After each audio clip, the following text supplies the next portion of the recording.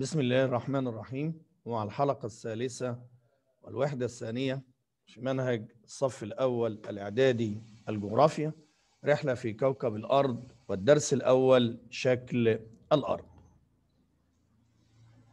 أول حاجة تشبه الأرض الكرة في شكلها وسطحها يبدو منحنيا.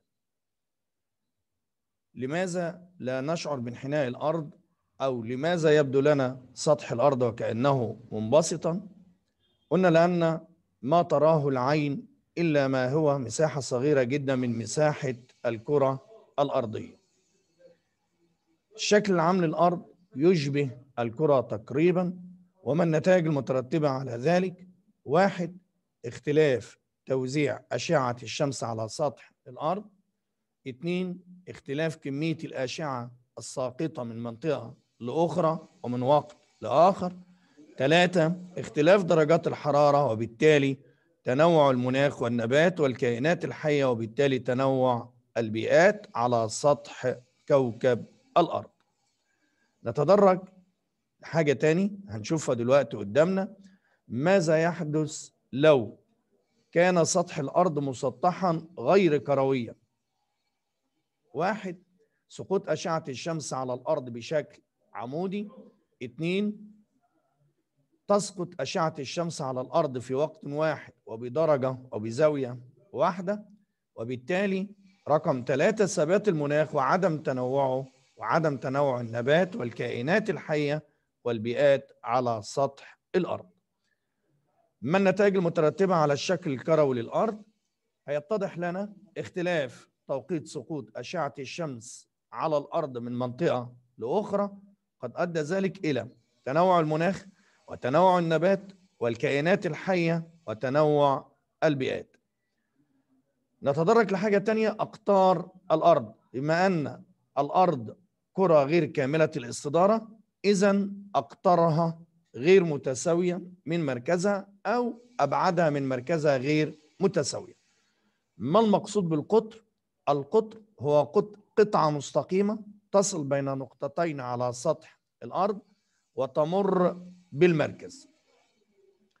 أبعاد الأرض كما ذكرنا سابقا عن مركزها غير متساوية. الدليل أن القطر القطبي الذي يصل بين القطب الشمالي والقطب الجنوبي يصل مسافته أو تصل مسافته حوالي 7900 ميل. أما القطر الاستوائي يصل طوله من الشرق إلى الغرب 7927 ميل. علما بأن الميل الأرضي يساوي 1.6 من عشرة كيلو متر. الشكل اللي قدامنا ده بيوضح أبعاد أقطار الأرض سواء كان القطر الاستوائي أو القطر القطبي. لذلك فإن الأرض كرة غير كاملة الاستدارة لأنها مفلطحة عند القطبين ومنبعجة عند دائرة الاستواء. بما تفسر القطر الاستوائي أطول من القطر القطبي قلنا لأن الأرض كرة غير كاملة الاستدارة فهي مفلطحة عند القطبين ومنبعجة عند دائرة الاستواء. ماذا يحدث إذا كانت الأرض كاملة الاستدارة؟ لأصبح القطران أو أبعاد الأرض من مركزها متساويان أو لأصبح القطران القطبي والاستوائي متساويان في الطول. بما تفسر الأرض ليست كاملة الاستدارة قلنا لأنها منبعجة قليلا عند دائرة الاستواء ومفلطحة عند القطبين. القطر الاستوائي أطول من القطر القطبي بحوالي 27 ميل. ما النتائج المترتبة على عدم تساوي أقطار الأرض؟ قلنا أصبحت الأرض كرة غير كاملة الاستدارة. الثلاث أسئلة اللي قدامنا كلهم بيدوروا في نصاب واحد اللي هو عدم استدارة الأرض استدارة كاملة وبالتالي أقطارها غير متساوية وبالتالي أبعادها أي نقطة على سطحها إلى مركزها أيضا غير متساوية. بعد كده هندخل على خطوط الطول ودوائر العرض. خطوط الطول ودوائر العرض هي خطوط ودوائر وهمية لا وجود لها في الطبيعة رسمها العلماء على الخرائط لسهولة دراسة سطح الكرة الأرضية نظرا لاتساعها. دوائر العرض تعرفها هي دوائر وهمية أفقية تحيط بالكرة الأرضية وهي غير متساوية الحجم تصغر تدريجيا كلما ابتعدنا عن دائرة الاستواء. أكبر دائرة من دوائر العرض هي دائرة الاستواء وهي دائرة العرض الرئيسية ودرجتها صفر. عدد دوائر العرض 180 دائرة عرض هنا يتوسطها دائرة الاستواء منها 90 دائرة في نصف الكرة الشمالي و90 في نصف الكرة الجنوبي أي شمال دائرة الاستواء وجنوب دائرة الاستواء. الشكل اللي أمامنا ده بيوضح ترتيب دوائر العرض لو بدأنا من دائرة خط الاستواء درجتها زي ما قلنا صفر يليها مدار السرطان في نصف الكرة الشمالي ودرجته 23 ونص يليها الدائرة القطبية الشمالية 66 ونص يليها نقطة القطب الشمالي 90 درجة شمالا. جنوب دائرة الاستواء مدار الجدي ودرجته 23 ونص ثم الدائرة القطبية الجنوبية 66 ونص ثم نقطة القطب الجنوبي 90 جنوبا. دي دوائر العرض الرئيسية وعددها سبع دوائر عرض. أما عدد أو إجمالي عدد دوائر العرض 180 دائرة 90 شمال دائرة الاستواء و90 جنوب دائرة الاستواء.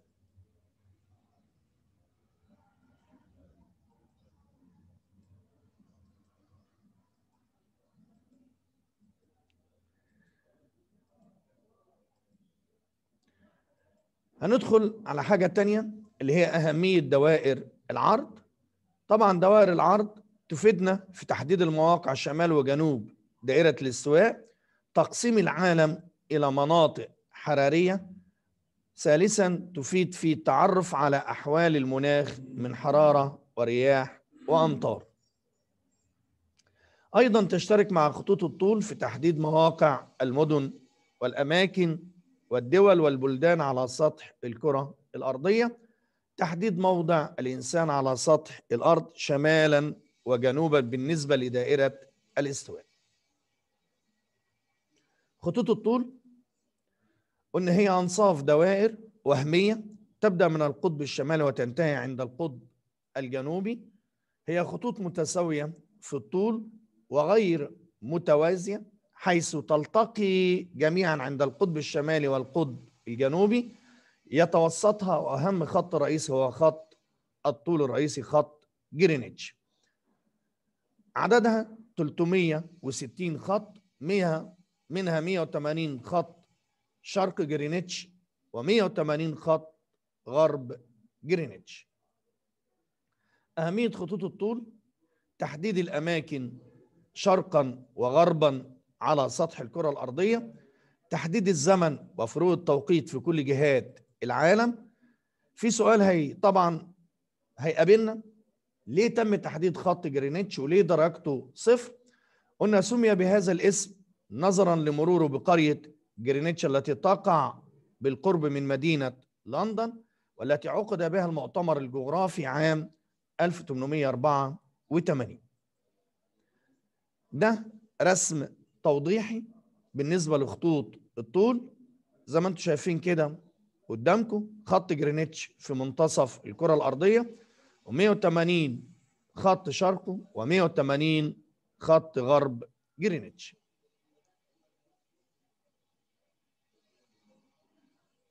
طبعا الرسم اللي قدامنا ده بيحدد أدي خط الطول 180 وأدي بداية جرينتش خط الطول الرئيسي جرينتش يقابله من الناحية الثانية خط طول 180 رسم توضيحي للكرة الأرضية وتوضيح نقطة القطب الشمالي والتقاء خط 180 بالمقابل مع خط جرينتش اللي درجته صفر.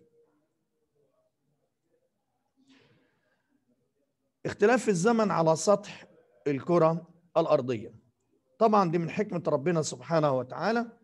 اختلاف الزمن من مكان لآخر على سطح الكرة الأرضية قلنا باختلاف خطوط الطول.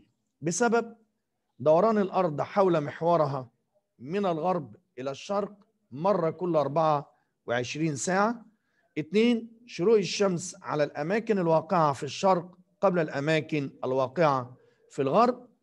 طبعا في مسائل الزمن ودي حتى الاستفادة في حياتنا اليومية وهي مش نقطة أو شريطة نقطة وضع الامتحانات ولكن كيف يمكن معرفة فروق الزمن بين أي مدينتين على سطح الأرض؟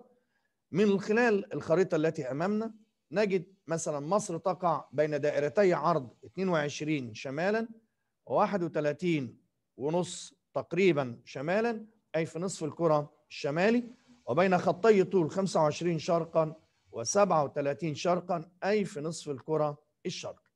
يمر بمصر في جنوبها دائرة عرض رئيسية ألا وهي مدار سرطان 23 ونص شمالا. عدد خطوط الطول التي تمتد عليها الأراضي المصرية حوالي 12 خط وعدد دوائر العرض 9 ونص دائرة عرض. موقع مصر بالنسبة لخطوط الطول ودوائر العرض. خريطة أمامنا لمصر هي تمتد عبر الحدود من 22 شمالا ل 37 ونص شرقا و25 شرقا متجه شمالا إلى 31 ونص شمالا.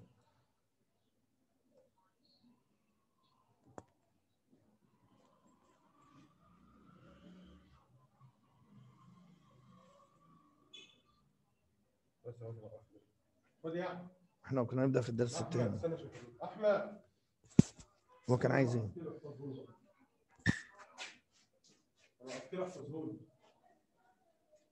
إحنا وقفنا انت جيت و أنتوا في إيه؟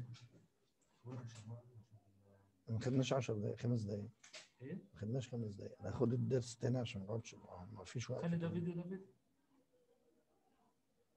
ماشي هتسجله انت هتسجل حاجة؟ ليه؟ ده فيديو ده فيديو عشان لما تيجي تبعت آه عشان باش تقول يعني آه